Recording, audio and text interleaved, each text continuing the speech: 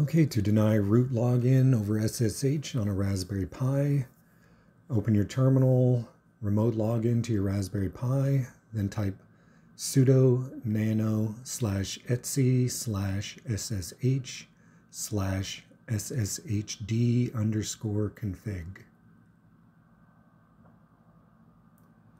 Okay, scroll down in the config file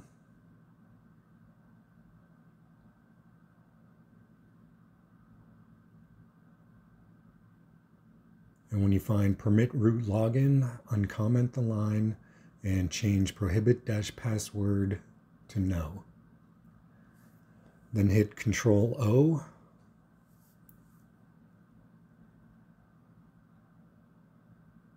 And then enter to save, Control X to exit.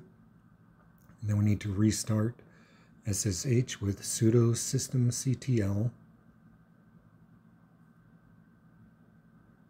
Restart SSH. Okay, here's my result of trying to log in as root. It says permission denied. That's all there is to it. Thanks for watching.